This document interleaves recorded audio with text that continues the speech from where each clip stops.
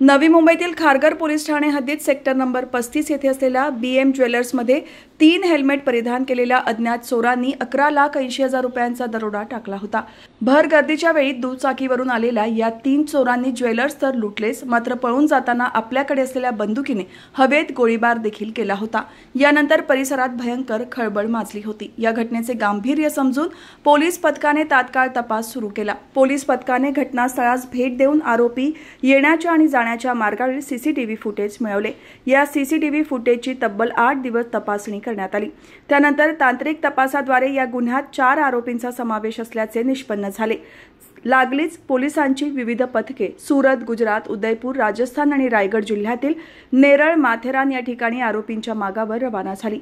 अखेर पोलीस पथकाने रिजवान अली शेख राहणार सुरत अरु- अझरुद्दीन हुसनोद्दीन शेख राहणार सुरत तहा तन्वीर परवेज सिंधी राहणार उदयपूर राजस्थान आणि राजवीर रामेश्वर कुमावत राहणार उदयपूर राजस्थान या आरोपींना शिताफीने ताब्यात घेतले. यावेळी आरोपींची कसून चौकशी केल्यानंतर गुन्ह्यात वापरण्यात आलेली दोन अग्निशस्त्रे तीन जिवंत काडतुसे गुन्हा करताना वापरलेली दुचाकी आणि चोरीस केलेली मालमत्ता देखील नागपाडा मुंबई येथून हस्तगत करण्यात आली आहे. या आरोपींना न्यायालयात हजर केले असता न्यायालयाने बावीस ऑगस्टपर्यंत पोलीस कोठडी सुनावली आहे. मागील महिन्यात अठ्ठावीस जुलै रोजी रात्री दहा वाजता खारघर या ठिकाणी असलेल्या बी एम ज्वेलर्स त्यामध्ये एंट्री करून साडे अकरा लाखाच्या आसपासचा मुद्देमाल आरोपींनी बंदुकीचा दाग दाखवून लुटून नेला होता. त्याबद्दल आपण एकोणतीस तारखेला पहाटे तीन वाजता खारघर या ठिकाणी गुन्हा दाखल आहे.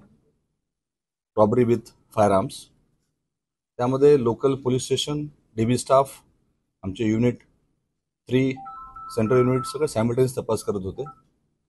मग फुटेजची पाहणी करत असता इंट्रोगेशन जे आपण केलं त्यामध्ये थोडंसं जे काही क्लूज भेटले आपल्याला. त्याने काही पावसाचे जॅकेट घातले होते हेल्मेट होतं वाहनाचा वापर केला होता. सी सी टी व्ही फुटेजचं ॲनालिसिस टेक्निकल ॲनालिसिस व जे काही इनपुट्स भेटले त्या ठिकाणी आपल्याला स्पॉटवर त्याचा फॉलोअप करू मग अनेक टीम तयार केल्या. लोकल पोलीस स्टेशनच्या डी बीच्या व क्राईम ब्रँचच्या. आणि आपण राजस्थान एम पी गुजरात आणि महाराष्ट्रामध्ये काही ठिकाणी मागील पंधरा वीस दिवस काम करत होतो. त्यानंतर अ, काही स्पेसिफिक जेव्हा इनपुट भेटले त्याच्या आधारे आपण चार आरोपी राजस्थान या ठिकाणातून ताब्यात घेतलेले आहेत. आणि त्यांच्याकडून आपण आज तो मुद्देमाल होता मुंबई या ठिकाणाहून पूर्ण मुद्देमाल व वापरलेलं वाहन आणि ते फायर आर्म्स पण जप्त केलेले आहेत.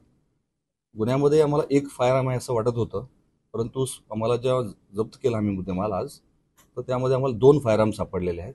मग आज आपण दोन फायर आर्म्स दोन मॅगझिन आणि तीन काडतुसं आणि संपूर्ण मुद्देमाल हस्तगत केलेला आहे चारही आरोपींना आपण अटक केलेला आहे. आणि बाकी आता इंट्रोगेशन पुढील तपास चालू आहे. त्याच्यामध्ये डेकोरेटिव्ह सेक्शन लागणार का? कारण असं आम्हाला पूर्वी वाटत होतं की याच्यामध्ये कोणी स्थानिक सहभागी असायला हवा. अजून पूर्ण तपास झालेला नाही आहे परंतु यातले दोन आरोपी जे आहेत यापूर्वी या ठिकाणी खारघरला या ठिकाणी येऊन ते पाहणी टेळणी करून गेले होते. आणि त्यांनीच हे प्लॅन केलेलं आहे. या चौघांपैकी दोघांचं रेकॉर्ड सापडतं आहे आपल्याला.